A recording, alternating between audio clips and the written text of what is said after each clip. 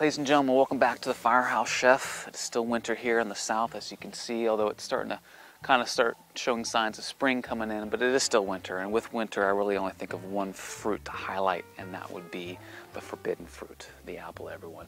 So I thought today would make a very nice, simple, using primarily staple items, apple crisp, and top it with something a little different, but very easy to make, and that is something called dulce de leche. So everybody, let's get baking. All right, guys, first things first, let's make the, uh, the dulce de leche. Uh, for those of you who aren't familiar with it, it is a very popular Latin American dessert, almost like a very rich caramel. It's spreadable, um, or you can actually condense it so much to the fact that you can just eat it straight. Uh, it, anyways, it's fantastic.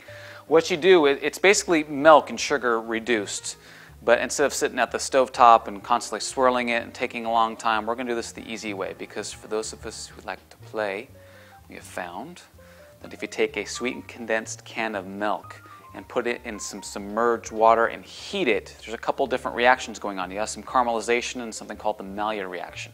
We won't talk about now. It's, it's basically amino acids and sugar combining.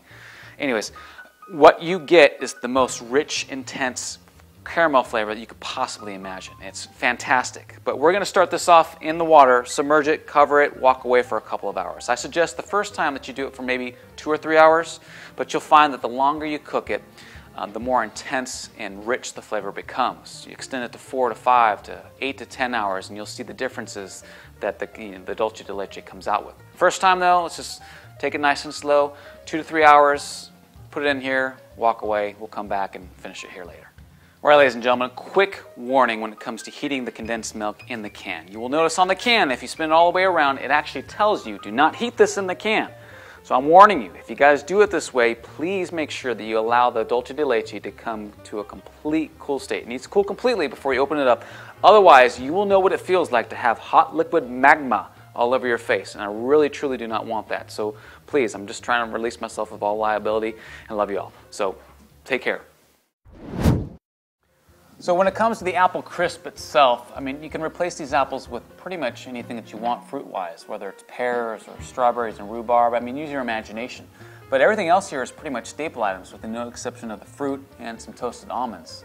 Now, I decided to add some nuts to this because it gives the crisp a, a nice, good flavor, texture, and also it really rounds out the flavor of the apples really, really well. I went with almonds here. Of course, you can always go with the southern favorite pecans, walnuts. I mean, again, use your imagination. But everything else here is staple items. Nice, inexpensive. We're chopping a couple things up, throwing it in the oven, walking away for an hour. Doesn't get any easier than that. So let's put this all together.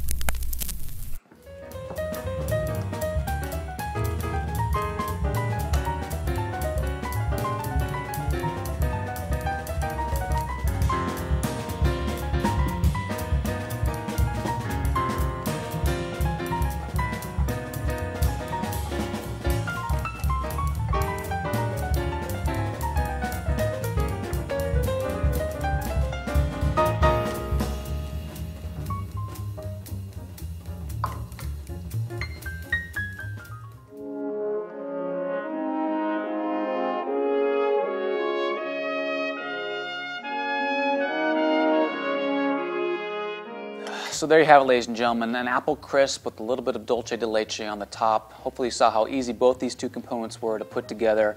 Apples, cutting them up, mixing it with a couple of things, throw it in the oven, walk away. Dulce de leche, water in a can, you're good to go.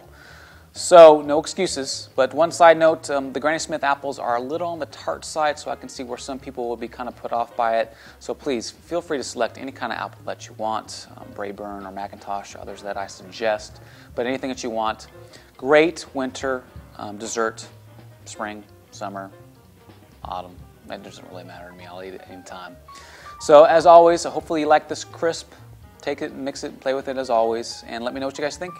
Until next time, y'all, stay hungry, my friends. You think I was not going to eat me? Ah, good.